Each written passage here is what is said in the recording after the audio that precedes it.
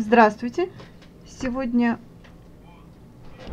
по схеме покажу вам, как связать, как начать вязать шаль или косынку. Я взяла толстую пряжу акриловую и крючок номер 4, чтобы было вам видно.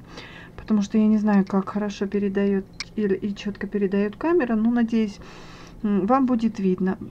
Но вы можете вязать крючком 1,7 и двоечкой и пехорской пряжей или бисерной. Так, начинаем со схемы. Смотрите. Схема такова, что сейчас я достану не ручку, наверное, карандаш, чтобы было лучше видно. Вот смотрите, первый ряд это у нас всегда этот шар, круг, это начало. Вот оно, начало это первое, первый ряд. Это второй, это третий, это четвертый, это пятый. Начинаем всегда с первого. Это на, у нас 6 воздушных петель, так как таковое кольцо. Смотрите, что мы делаем. Нам нужно сделать петельку. Вот она у нас первая петелька. Кому непонятно, повторяем. Видим короткий конец, накидываем на два пальца переворачиваем и вытягиваем. Все, видите, что у нас получается? Петелька подтянули, вот она у нас считается за первую. Один, два, три, четыре, пять, шесть. Соединяем в кольцо в первую. Вот получилось у нас кольцо. Эту нить оставляем перед работой, мы ее прячем. Смотрите, что у нас получилось. Первое кольцо мы сделали. Второе, 2, 4, 6. 6 воздушных петель. Раз, два, три, четыре, пять, шесть. Дальше за ними идет 3 столбика с накидом. Через все кольцо, из, даже провязывая, захватывая, оставляя внутри эту нашу нить короткую, мы ее оставляем, мы ее прячем. Сделали один столбик с накидом, накид, провязываем первых два и следующих два. Вот столбик с накидом накид зацепляем выводим 2 и 2 вот они три столбика с накидом. За ними идет 3 воздушных петельки. Это у нас центр нашей с вами косынки или шали. За ним идет 3 столбика с накидом. Раз.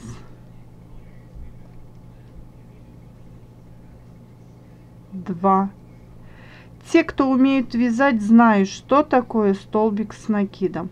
Поэтому урок для тех, кто уже умеет вязать. Для маленьких деток я завтра сделаю мастер-класс тоже с пряжей, но простой. Не с крючком, а с обычной линейкой или вилочкой. Вот смотрите, сделали. Теперь дальше один столб, одна воздушная петелька, вот она у нас и вспомогательный столбик. Делаем его тоже накид и вывязываем. Вот видите, получился у нас такой треугольник. Переворачиваем работу. Этот ряд у нас уже готов. Мы шли сюда, поэтому возвращаемся с другой стороны. Можете перерисовать поставить на паузу и схему перерисовать. Дальше. 2, так, 2, 4, 6. Раз, два, три, четыре, пять, шесть. Вот они, шесть. И теперь у нас получился здесь кармашек. Помните, когда мы делали один крайний столбик? Через этот кармашек мы вывязываем 3 столбика с накидом. Раз, два,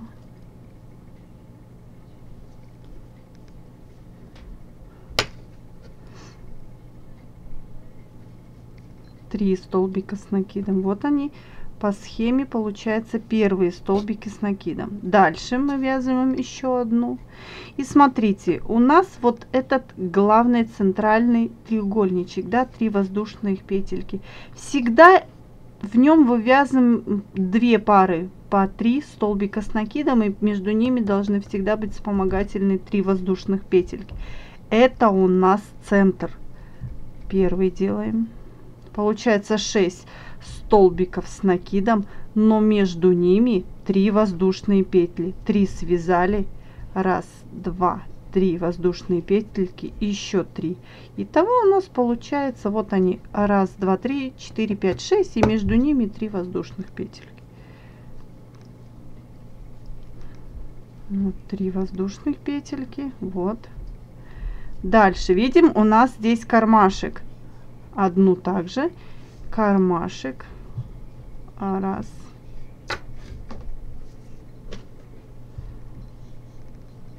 два, три воздушных петельки. И после трех петелек, смотрите, вот они три петельки, нужно нам сделать э, одну воздушную петельку связать и сделать нам вспомогательный столбик с накидом. Мы берем накид, делаем и отсчитываем раз, два, три, три отсчитываем и делаем вот столбик с накидом.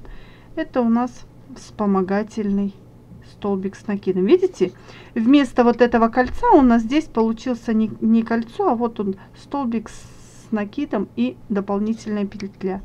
Это вот здесь сделаем 3 в этом кармашке. Здесь в кармашках делаем по 3 и сделаем здесь 6. Раз, два, три, три воздушных и 6. Это мы сделали раз, два, три ряда. В четвертом мы делаем то же самое, но единственное, что мы в каждой из трех вот воздушных петелек мы провязываем по 2 получается раз два три столбика с накидом 3 воздушные и 3 столбика с накидом. Мы как бы увеличиваем. Ну и так у нас шаль становится больше. Смотрите по схеме можно обвязать шаль вот таким способом а можно сделать обычные кисточки. Тоже очень будет хорошо